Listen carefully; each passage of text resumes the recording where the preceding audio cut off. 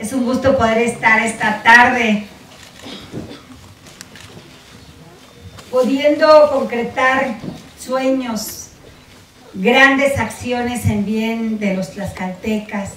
y sobre todo disminuir la pobreza alimentaria para mí es un gran compromiso. Quiero agradecer a grandes aliados, aliados que desde que los conocimos no hemos hecho más que trabajar en estos proyectos, alimentar a más y más personas. Y yo quiero decirles que estoy muy contenta de haber eh, tenido la oportunidad a través de María Fernanda, a través de Estela, de conocerlos, de saber su labor maravillosa, de saber que hoy se alimentan miles y miles de personas en México y sobre todo que hoy Tlaxcala tendrá la oportunidad con este programa nada más de entregar 200 toneladas de alimento,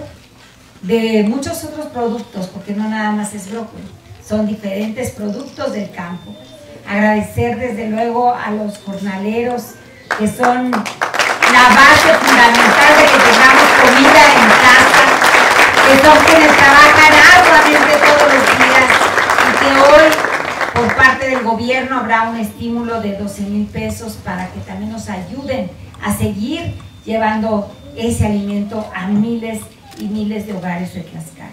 Gracias a José de Jesús de Netro García, presidente del patronato, muchas gracias por todo. Gracias a José Miguel Rojas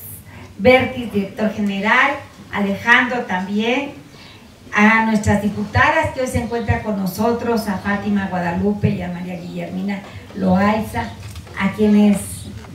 el sueño de llevar a la mesa hoy se concreta y que han sido parte fundamental de esta construcción, a María Fernanda Espinosa de los Monteros Cuellar, presidenta honorífica, y a María Estela Álvarez, secretaria del Bienestar. Quiero agradecer también a Rafa de la Peña, secretaria de Impulso Agropecuario, al gabinete que hoy me acompaña, mis compañeros, desde luego a Víctor Manuel, que hoy también está con nosotros como productor agrícola en los medios de comunicación. Este programa para mí es un programa que independientemente de que ya en este momento estamos entregando 20 mil despensas mensuales, gracias también al Banco de Alimentos, este proyecto ya es una realidad en Tlaxcala, es, es un gran aliciente para muchos hogares tlaxcaltecas y vamos por mucho más. Este es otro segundo paso y lo comentábamos hace un momento, lo que se puede hacer cuando se unen esfuerzos, cuando se une el amor hacia la gente, cuando se une el compromiso de servir y sobre todo de hacer posible que ese alimento llegue a los hogares de, de los tlaxcaltecas. Con estas acciones se busca reducir el desperdicio y generar empleos temporales para jornaleros tlaxcaltecas que contribuyan a aumentar el acopio de alimentos perecederos de calidad para que lleguen a la mesa de quienes más lo necesitan. Este programa contempla el acopio de 200 toneladas de alimento y estará integrado por 250 beneficiarios jornaleros para recuperación de víveres en el campo y 25 voluntarios para empaquetado y armado de despensas. El jornalero participante del programa podrá recibir hasta 12 mil pesos brutos por 10 semanas de trabajo que recibirán en una tarjeta. Además de los beneficios económicos y nutricionales que contempla este programa, trabajar en conjunto nos ayuda a sensibilidad a la comunidad sobre el valor de los alimentos y la importancia de no desperdiciar.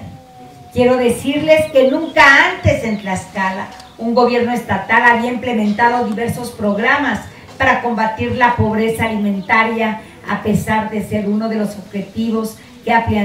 planteado la ONU en la Agenda 2030 para erradicar el hambre.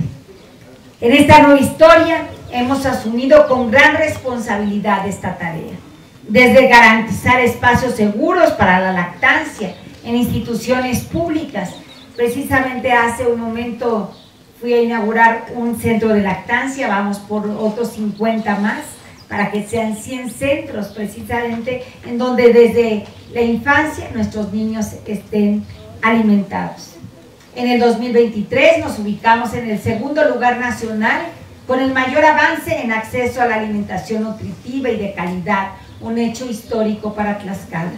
Pusimos en marcha 12 unidades de nutrición que operan la Secretaría de Bienestar Estatal, las cuales brindan más de 600 comidas anuales de manera gratuita para las madres y sus hijos.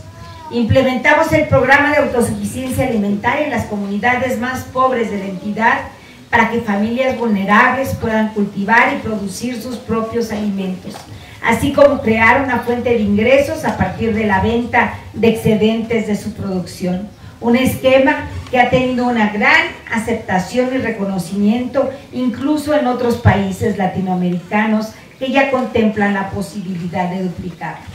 Distribuimos también más de 10 mil despensas, 20 mil, aquí es un, tenemos 20 mil despensas en coordinación con el Banco de Caritas de manera mensual. A través del DIF estatal, el año pasado otorgamos 15 millones de desayunos escolares en modalidad frío, pero además ya dotamos de, de equipamiento a 250 comedores escolares para la comida caliente.